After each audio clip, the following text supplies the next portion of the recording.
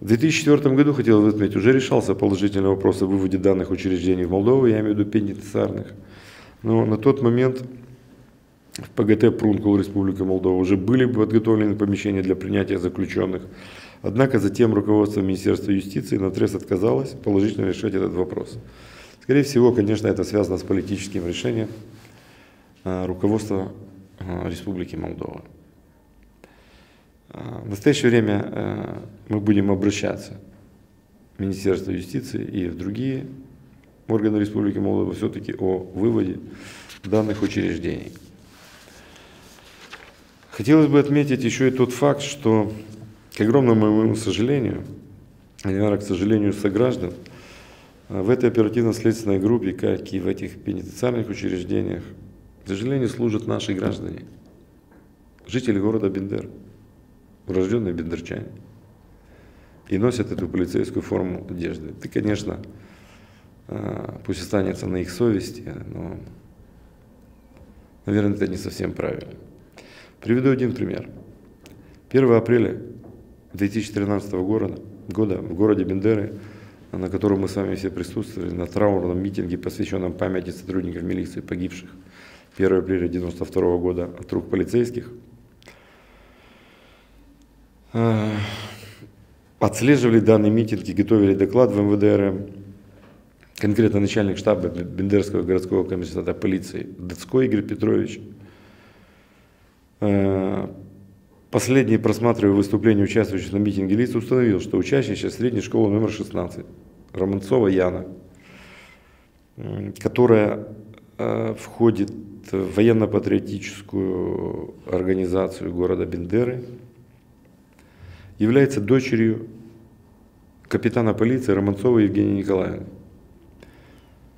По данному факту Дицко доложил представителю ОКК от Республики Молдова полковнику Головач, а также направил информацию руководству МВД Республики Молдова, город Кишинев, а, о данной ситуации, о том, что дочь а, сотрудника вот, участвует в таких митингах. Реакция руководства была резкой и однозначной МВД Республики Молдова. Уволить капитана полиции Романцову без всякой проверки и служебного расследования. При этом хочется отметить, что мнения сотрудников комиссариата все-таки разделились на тех, кто считает, что Романцова действительно надо уволить, и на тех, кто считает недопустимым вмешивать в политические дела э, детей и близких родственников.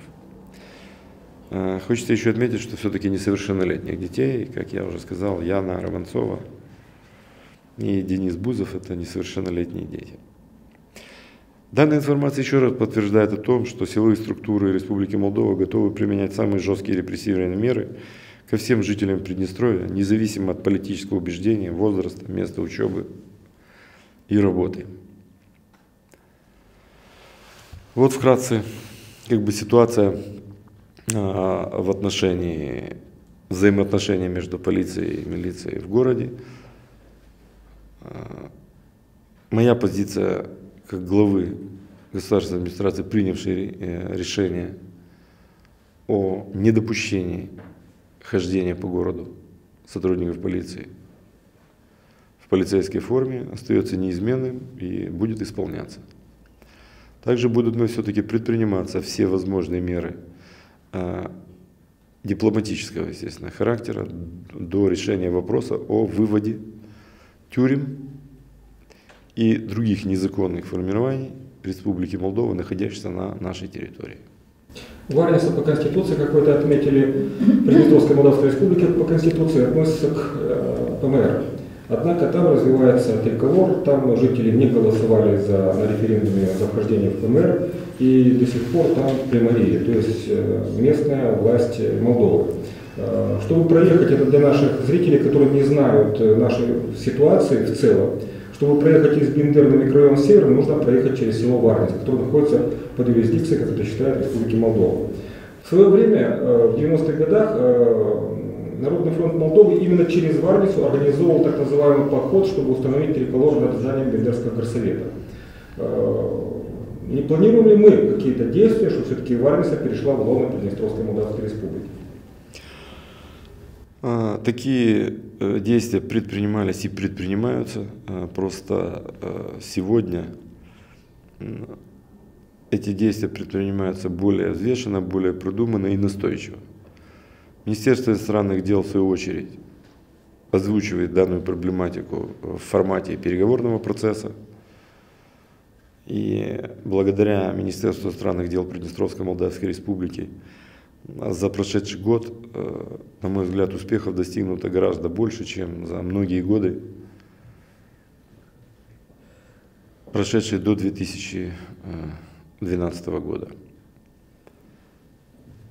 Мы настроены дружелюбно, мы мирные граждане, но мы хотим призвать и соседствующие государства, и граждан Республики Молдова уважительно относиться к Приднестровской Молдавской Республике, к ее конституции, к ее гражданам.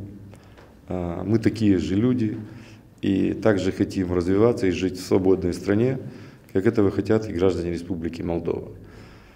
Поэтому, а, на мой взгляд, наиболее прямым вариантом было бы и более честным это Республики Молдова признать все-таки независимость Приднестровской Молдавской Республики без устройства всяческих границ, блокпостов, и всего остального.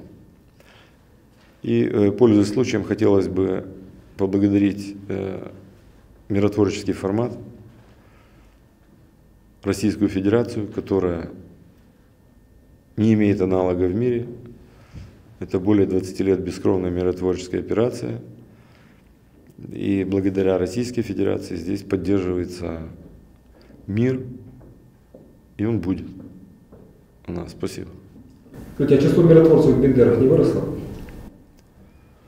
Число миротворцев не выросло и вырасти не может, потому что все страны все-таки гранты и военные наблюдатели за этим наблюдают, и соблюдается тот паритет, который был установлен э, в взаимно подписанных соглашениях и документах.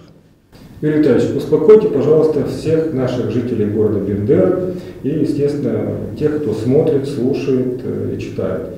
Так все-таки, насколько вероятно, по вашему мнению, возможность вооруженного конфликта? Возможность вооруженного конфликта невероятно совсем. Не, перед, не под какими предлогами.